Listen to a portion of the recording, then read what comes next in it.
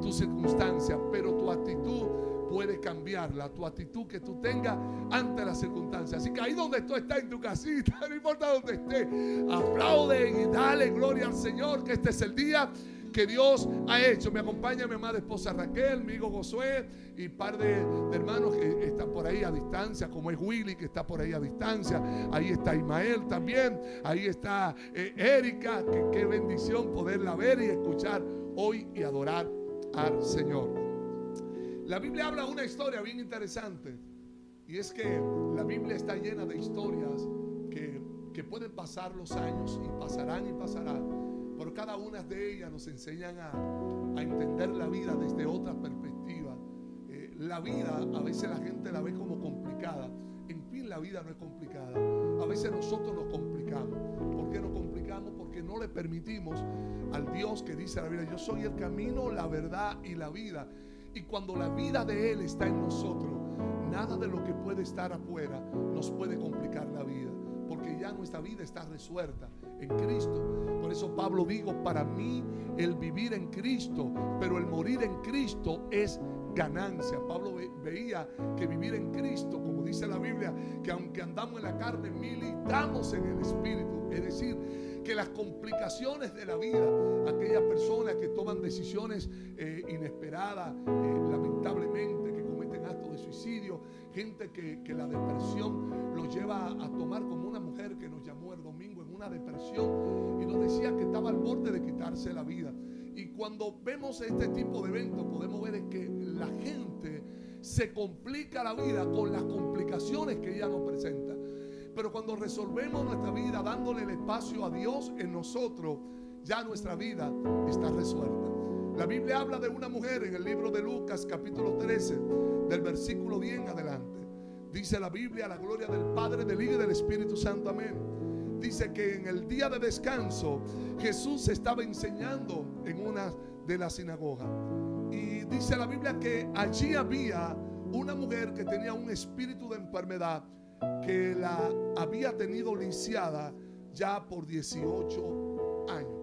Esta mujer, la Biblia dice que por 18 años estaba lisiada. Era una enfermedad que atormentaba a esta mujer por 18 años. La Biblia dice que, que esta mujer andaba encorvada y no se podía enderezar nada. Y yo quiero hablar de esto. Hay un adagio que dice que árbol que nace doblado jamás su tronco endereza. Pero si ese árbol está en la mano de Dios, se va a enderezar. No hay nada torcido que Dios no pueda enderezar. Y Pastor Yanni, cuando podemos ver ese adagio que muchas personas dicen, esto nada lo puede enderezar. A este muchacho nada lo puede enderezar. Me acuerdo que cuando yo empecé en el programa de rehabilitación ASCA, antes de servirle al Señor, y, pasé por un proceso de dificultad, cuando entré en el programa, la, trabajadora social, Cristina Velázquez, decía, a ti nada te va a enderezar. Y me acuerdo que me llevaron a, al programa de ASCA, eh, de droga, pero también me llevaron a un taller de alcoholismo. Ella buscaba toda la forma porque ella decía, inclusive, ella iba donde eh, mi esposa en visitas de repente y le preguntaba, él es maltratante, él comenzaba a preguntarle a los vecinos sobre mi persona, porque lo que decía el libreto, lo que decía eh, lo escrito por el policía, era un árbol torcido. Y cuando alguien le, pronostica, le profetizan que está torcido, pues mayormente se cree la película y vive una vida encorvado. Y hay gente que han vivido vidas encorvadas, han vivido vidas torcidas porque alguien pronunció sobre su vida que nada se va a enderezar. Andan en su vida cabizbajo, andan simple y llanamente mirando eh, la vida como en derrota, sin mirar eh, la vida como Dios anda buscando que la veamos. Y algo Ismael interesante en todo esto es que hay gente que cree que las cosas se pueden enderezar de la, de la noche a la mañana, que creen que se puede enderezar. Y hay gente, por ejemplo, en Puerto Rico, vimos en estos días que la gobernadora eh, eh, eh, puso más flexible la regulación de cómo salir. Pero se decía que era para ejercitarse en la playa y de repente vimos cómo se, se, tuvo que, como eh, montones de personas llegaron, invadieron la playa y entonces nosotros vemos como el boricua, como el latino, que a veces estamos tan torcidos en la vida que no nos damos cuenta que para enderezarnos, para usted enderezar un hierro, usted tiene que pasarlo por el fuego. El hierro usted no lo puede enderezar mirándolo, ni lo puede enderezar a través de fuerza humana. Usted tiene que pasarlo por el calor. Y cuando pasa por el calor, por el fuego, ese, ese hierro se pone más, más frágil. Se pone más frágil. Entonces usted lo puede llevar a donde usted lo quiere enderezar. Y así somos cada uno de nosotros. Queremos que Dios enderece nuestra vida pero por mucho tiempo hemos andado torcidos. Y hay cosas que Dios quiere enderezar. Dios quiere enderezar tu familia. Dios quiere enderezar. Y a veces nos decepcionamos porque oramos y decimos, Dios, yo te estoy, yo estoy orando por mi esposo, yo estoy orando por mis hijos, yo estoy orando por mi trabajo, pero nada lo endereza. Y Dios dice, sí, se está enderezando. Para eso es el pueblo. Para eso es la prueba, para poder enderezar aquellas cosas que creíamos. El Señor dijo, yo iré delante de ti y enderezaré los lugares torcidos. Pero a veces los lugares torcidos no están de frente a nosotros. A veces somos nosotros mismos. A veces hay cosas que están torcidas en nuestra vida. A veces hay decisiones que hemos tomado a la ligera. Cosas en medio de la prueba nos desesperamos. No, simple y llanamente somos como desesperados y queremos salir del proceso cuando Dios nos está enderezando. Dios permite muchas veces ese fuego, ese fuego, ese calor que decía la pastora Yani, que decía, eh, estamos aquí, el calor es fuerte, pero mira, hay un viento hermoso que está pasando, pero hace calor. Y en Puerto Rico, todo lo que vimos en esta isla hermosa, sabemos que estamos en una temporada, mano, que el calor está brutal. Ayer yo terminé de predicar y se va la luz. ¡Santazo! para empatar. Y tuvimos que treparnos. Entonces mi papá creía que era que había un vecino que había cortado la luz y se transportó a Santo Domingo, el viejo. Y entonces arrancó. Eso fue alguien que la cortó. Alguien la cortó. Y yo, papá, por es que al frente no hay. Ellos están durmiendo. Ahí hacerle entender. Nos sentamos en el balcón allá arriba, eh, donde él vive, en el apartamento, y nos quedamos ahí con él. Y él dijo, vamos para 15 minutos y si no llega todo el mundo se quiere acostar. Se tiene que acostar. Amén, papá. Mire, y llegó la luz. Pero cuando llegó la luz, aún usted se baña y usted siente el calor. Pero mira, todo esto y todo esto de estar en la casa, a veces oramos a Dios y le decimos, Dios, Señor, yo quiero que tú cambies esto. Pero Dios quiere que nosotros cambiemos nuestra manera de orar y digamos, Señor, ¿qué tú quieres que yo vea a través de esto? A través de estar en la casa. Hay tantas cosas que Dios está enderezando en la familia que tal vez habíamos pasado desapercibidas. Aquellas cosas que dejamos de hacer, como compartir en una mesa, como compartir un devocional, como podernos escuchar, poder interactuar, podernos hablar. Hay tantas cosas que Dios está enderezando a través de toda esta situación que nosotros la vemos como mala, pero ¿sabe qué? Al final todo va a obrar para bien. Porque cada uno de nosotros, Pastor Yanni Mael, eh, hace 100 años en la ciudad de Nueva York, hace 100 años, ante la, pandemia de, la fiebre española, la gente se desesperó. Y se desesperó hasta tal nivel que digo, ya no me voy a quedar en la casa. Y comenzaron a salir, y ¿saben qué? Los casos comenzaron a dispararse. Porque la gente no quiere entender que hay procesos que tenemos que vivir.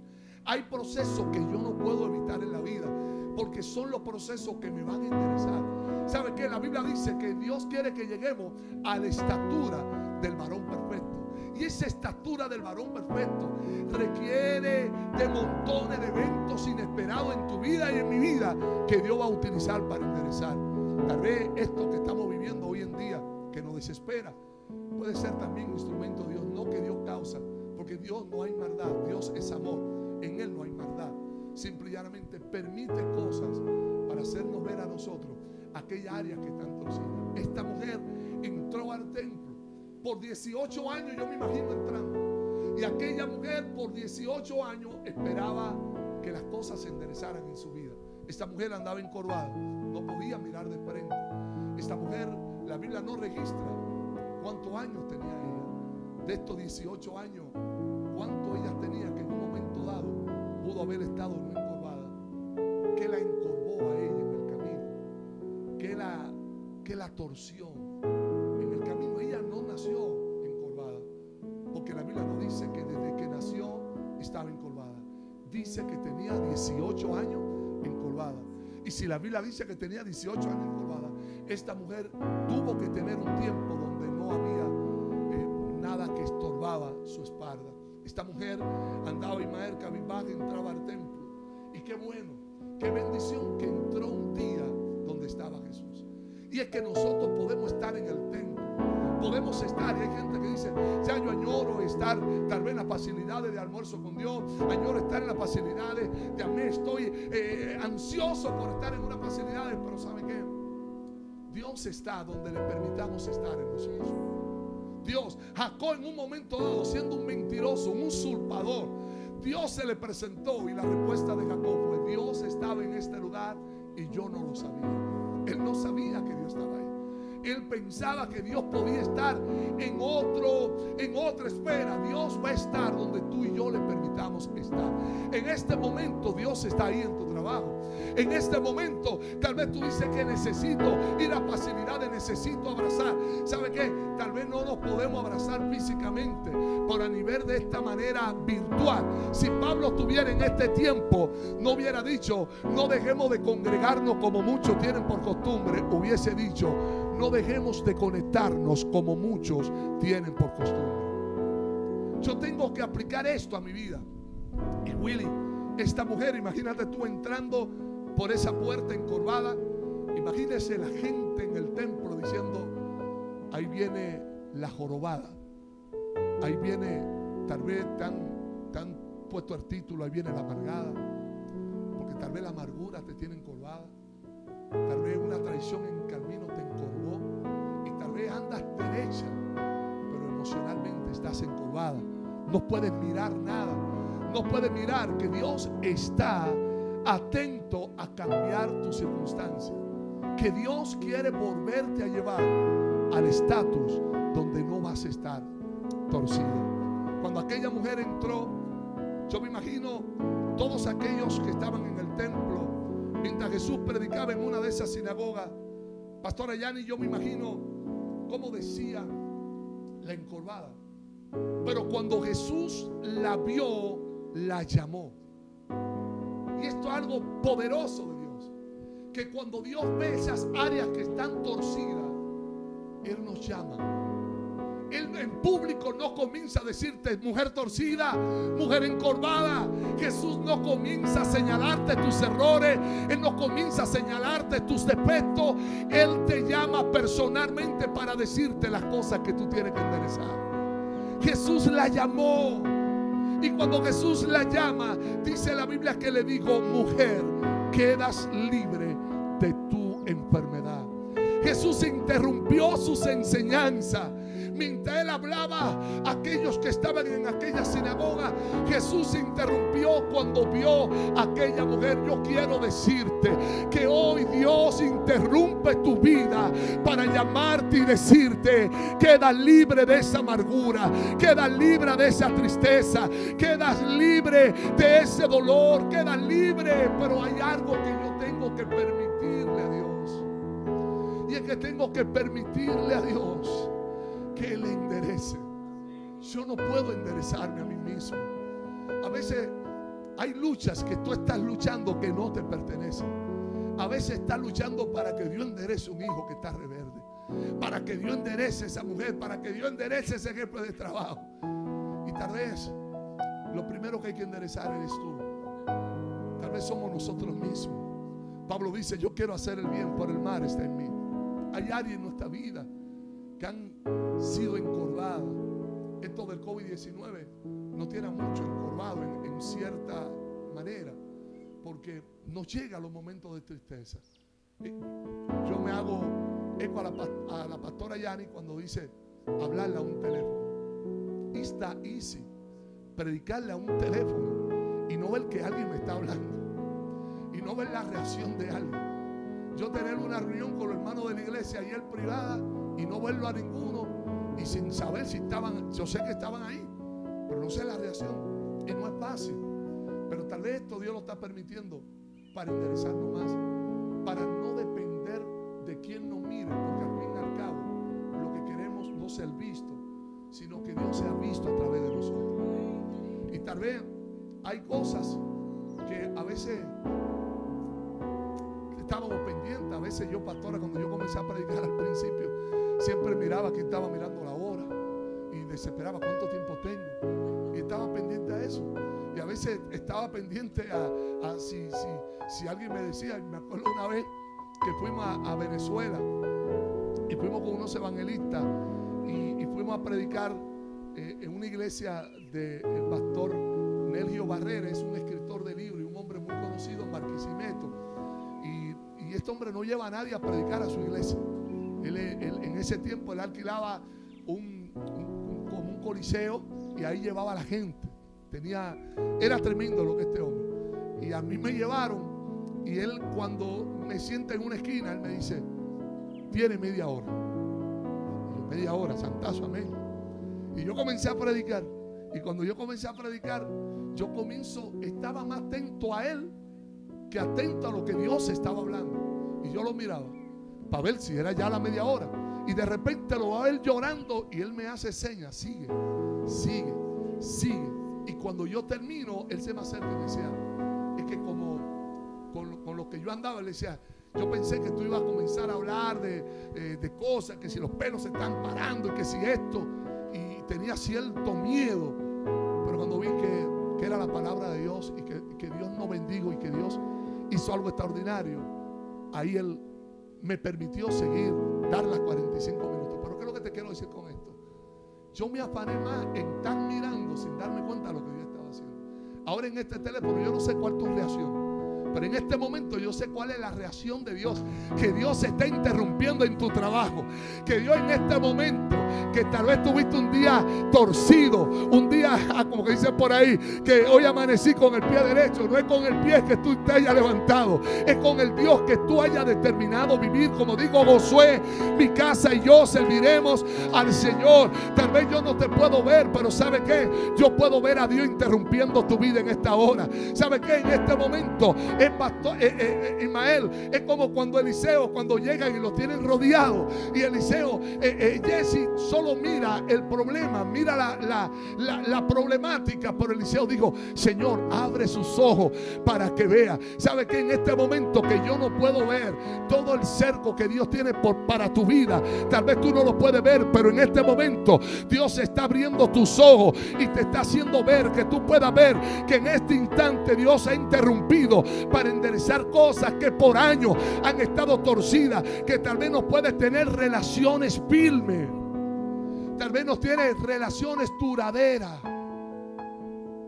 tal vez ha vivido de fracaso en fracaso y es que no ha hecho un alto porque hay algo que está torcido. Dice la Biblia que esta mujer llegó. Y algo que me encanta es que Jesús la llamó y le dijo, eres libre de tu enfermedad. Y hay un versículo 13 que dice entonces, y esa palabra entonces viene como una, como una reacción a la palabra que él lanzó. La palabra de Dios va a causar reacciones a tu vida. La palabra de Dios va a comenzar a, a, provocar reacciones en tu hijo, en tu matrimonio, en tu casa, en ti. Dice la Biblia que entonces puso la mano sobre ella puso la mano sobre ella. En este momento yo creo que Dios pone su mano en ese hijo que está torcido. Yo creo que en este momento no es tiempo de tú pelear con aquello que está torcido. Usted no lo puede enderezar. Usted no puede. La Biblia dice que Dios es amor, pero es fuego consumidor. Y si Dios es fuego, como Dios le digo a Moisés, yo no me le presenté a ustedes como imagen, yo me le presenté a ustedes como fuego. Y si Dios es ese fuego, es ese fuego que va a enderezar ese hierro, porque a veces el hijo, a veces hay alguien que se pone como hierro duro, como dice Ezequiel, que tienen el corazón de piedra. Y hay gente que tiene ese corazón como de hierro. Hay un personaje de Marvel, Magneto, que todo es hierro. Y él atrae hierro a su vida. Todo lo que es hierro, él lo atrae. Magneto. un personaje ficticio. Pero tal vez tú en tu vida eres como ese magneto que todo lo que trae es áspero. Todo lo que trae, ¿por qué? Porque te estás rodeando tal vez de gente que están torcida. Biblia dice que Jesús puso la mano sobre ella. Listen to me, people. Jesús puso sus manos sobre ella y de inmediato, oye esto, Eric, de inmediato, ella se enderezó. 18 años de ver algo encorvado. 18 años de ver algo torcido. Yo no sé cuánto tiempo tú llevas encorvada por una enfermedad, por una preocupación, por una necesidad. Pero hoy Dios interrumpe tu vida. Y no simple y llanamente te llama por tu nombre, sino que pone su mano sobre ti. Y cuando pone su mano sobre ti, las cosas comienzan a enderezarse de inmediato. Puso la mano sobre esta mujer. Dice la Biblia que se enderezó y comenzó a adorar a Dios. Yo no sé si esta mujer antes adoraba. Yo no sé. La nueva traducción viviente dice, y como adoraba a Dios, en signo de admiración. Pero en esta versión habla que comenzó a adorar a Dios. Y si comenzó a adorar a Dios, es que hay cosas que tú vas a comenzar a hacer que no hacía. Inmediatamente comiencen a aderezarse esas áreas en tu vida que necesitan. Gracias a uno de los servidores de almuerzo con Dios. Y pastora, cuando esta mujer se enderezó, comenzó a adorar a Dios. Yo no puedo adorar a Dios con una fe encorvada, con mis emociones encorvadas.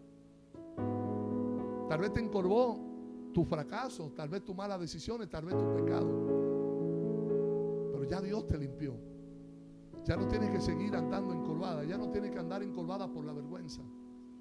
Dios pagó el precio. Y como Él pagó el precio, ya tú no necesitas que alguien venga con la mano a poner la mano sobre ti. En este momento tú le puedes... Hubo una mujer eh, que testificó que fue a una actividad de un evangelista muy conocido y, todo el que pasaba, él ponía la mano y, pasaba algo.